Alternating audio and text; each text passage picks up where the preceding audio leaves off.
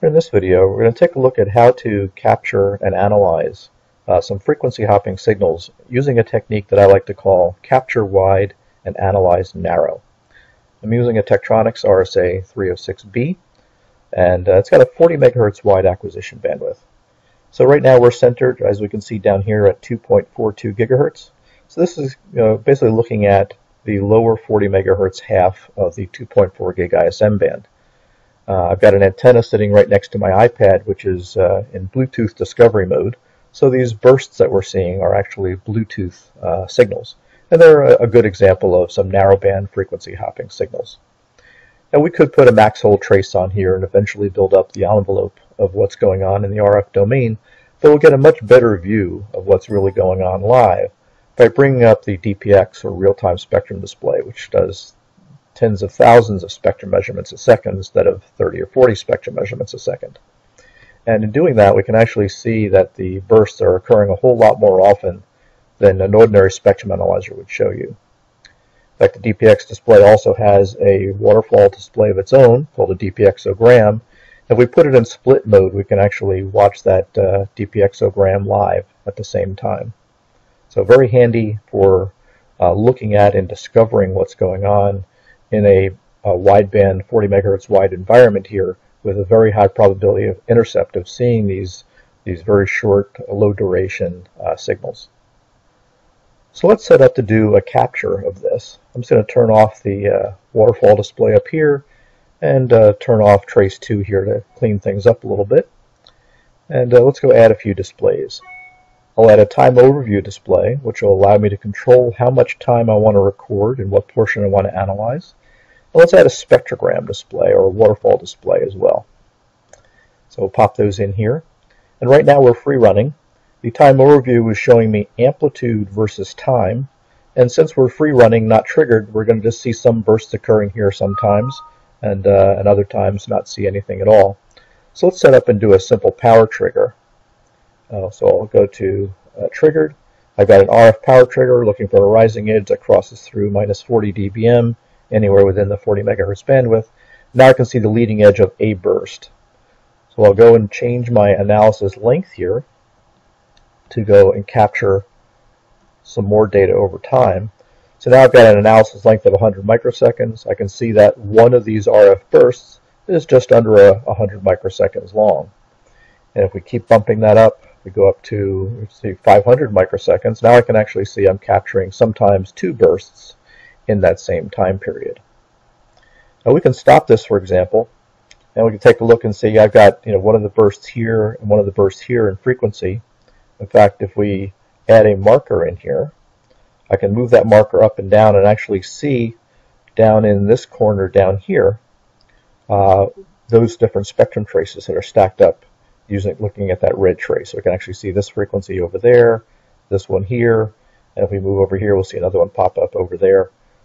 Okay, so this allows us to kind of see what's going on. Uh, in fact, this burst right here in uh, in time is this one in frequency. Or if I move up in time to this point here, this burst here in time is that burst in frequency. So let's bring up another interesting display here. I'm going to go run this again some more. Let's bring up a frequency versus time. This is kind of like an FM demod. Uh, will show me frequency deviation versus time. And here I can actually see you know, where I, this is looking over at the 40 megahertz span. The center of that is right here in the center. And we can actually see these bursts occurring at the different frequencies. Let's stop this here for a second and take another look at this. Again, everything is time correlated here, so if I move the marker across, I can see the spectrum, I can see where I am in the spectrogram, see where I am in the time domain, anywhere within here. But what's interesting is let's take a quick look at uh, one of these hops. Okay, I can right click and say zoom, and let's zoom in vertically and horizontally around this particular signal. Okay, in fact, let's zoom in vertically a little bit more here, even a little bit more. Maybe I'll pan this over a little bit. We can actually see there's some uh, FSK data on here, but it's pretty noisy. We really can't see what's going on. And the reason for that is because we're still analyzing over this 40 megahertz bandwidth. So what we can do is uh, re reduce the bandwidth that we're making this measurement over. So within the frequency versus time settings, we can go to uh, where it says measurement bandwidth. Right now it's linked to the span, which is 40 megahertz. If I uncheck that box, I'm going to use my down arrow to drop that down to say 2 megahertz. Now I'll make the measurement over 2 megahertz. However, uh, by default, all of the analysis is done at the center frequency that we've set the analyzer to. Now, uh, we, can we can undo that as well. So if I go to the Analysis Control Panel, I can uncheck this box here, which unlocks the center frequency of the spectrum analysis uh, from the actual measurement frequency that we're going to do in other displays. So this will now allow me to analyze narrow uh, on a wideband capture. You'll notice that we've now got this uh, kind of icon here or display aid in the spectrum displays. The center bar of that that's going vertically, that's showing me what my measurement frequency is. And then the trapezoid down along the bottom shows the measurement bandwidth. Remember, remember I reduced the measurement bandwidth to 2 megahertz, so that's showing essentially that 2 megahertz bandwidth uh, filter. Now if I go and center that uh, over, uh, say, let's see, we're over on this hop right now, so let's go over to this hop right here. If I center that on this hop and replay the existing data, let me auto scale it here. Now I can actually see it's a much cleaner uh, display going on in here. I'll right click and zoom in again and uh, we'll just uh, zoom in vertically here and then zoom in a bit horizontally and now we can actually see the actual FSK data that is being sent on this particular hop. And that was impossible to see before because of all the noise, because we had such a wide analysis bandwidth. So, for example, if I go and move this analysis window now over to this hop over here, which is occurring at a different point in time, I'll replay the data there. Now I can actually see that frequency hop over here more clearly.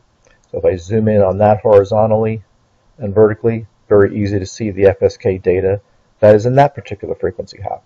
In fact, if I move the marker back into here, now I can walk my way through that one as well.